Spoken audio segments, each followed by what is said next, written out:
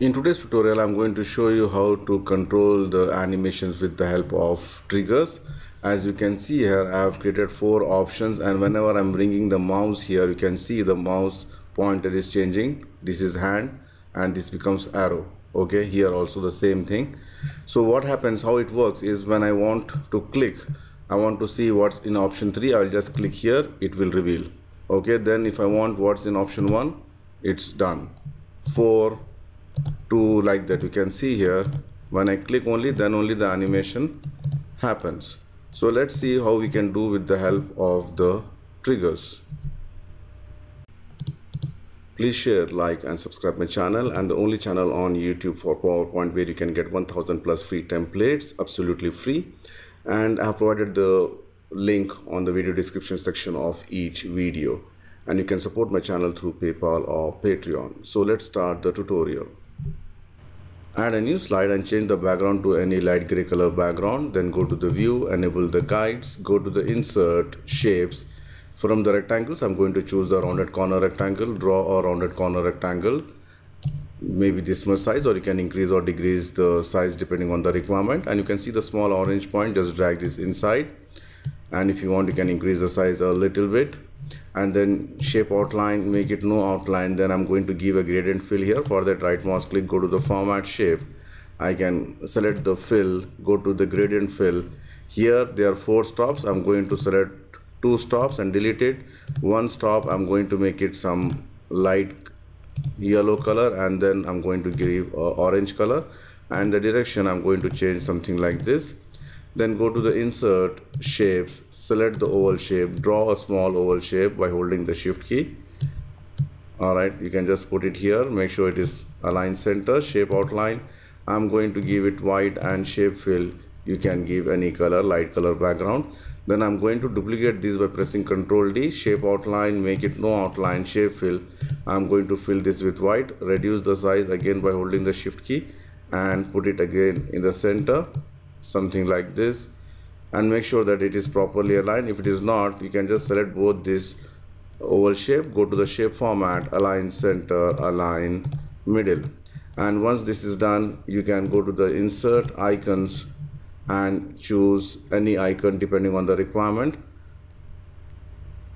So i'm just going to choose some random icon here uh, maybe a kind maybe airplane. Click insert I'm going to make the height and width as 0.5 and the color I'm going to choose yellow or orange color something like this. And then you can just go to the insert text and say 01 center align. I'm going to use the font Open Sans extra bold or any font of your choice. Increase the size sorry. Select this one. Bring it up control D to duplicate and here I'm going to type step reduce the size and put it here. And both of all these options I'm going to select and press ctrl G to group it. I'm going to add one more shape or I can go insert from the shape select this rounded corner rectangle or I can just select this shape also. Control C copy click outside and control V and this one shape format go to the shape fill. I'm going to fill this with white color increase the width and put it here something like this and send this to back. All right? Then here you can just align it as per the requirement and then insert the details. Go to the text and here title here make it bold. Any font you can just choose. And here I'm going to insert one line. You can see here you can insert one line here. And the line color also I'm going to choose the golden color. Go to insert text box add detail text here. You can add some detail text all right so once this is done i'm going to select all these shapes except this one which we have already grouped okay?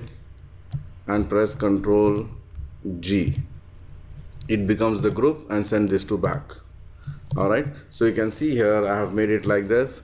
Now i can just go and do any number of maybe four or five by holding the control shift key and just drag it. So this is my second option third option and fourth option then I'll make it as second step third step and fourth step.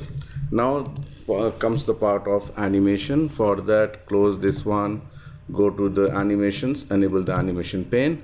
Here before doing the animation I would like to name this one okay? This is as the step 1 step 2 step 3 step 4 like that okay? This will help me to do the animation okay? So now I'm going to select this one and go to the home selection selection pane. You can give these names here okay? Just select here and I'm just saying that step 01 copy this one come here check okay it is here this is step 2 this is step 3 sorry step 3 I'm just renaming the object name and this is step 4 okay? Now go back to the animation. So the first animation I would like to do is go to the animation add animation more entrance effects. Here I'm going to select stretch. Click OK stretch from left.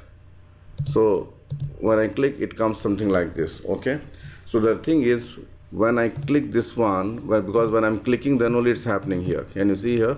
When I click it's happening. But I want the animation should happen when I click on the step one here this particular area then only should happen. To do that one you need to double click this one go to the timings triggers start effect on click. You remember we have created the names step 1 step 2 like that. You can see here step 1 click ok. So now if I slideshow can you see here the moment I bring my mouse here it is turning point. Okay can you see here? And when I click it comes here. Same thing I can just do here. Click on the animation painter. Only thing is now I have to just double click this one. Timings trigger effect on step 2 okay then I'm coming here copy the animation. Double click this one. Timings triggers start effect on. Step 3 then again copy the animation here. You can see here all these are with triggers and here it is not trigger. That means you have not added any trigger. So double click this one. Timings trigger. Step 4 click ok. Now I can just click on anything it will start coming the animation. I want the animation on step 3 you can see here. Then step 1 step 4 step 2 like that you can just control the animations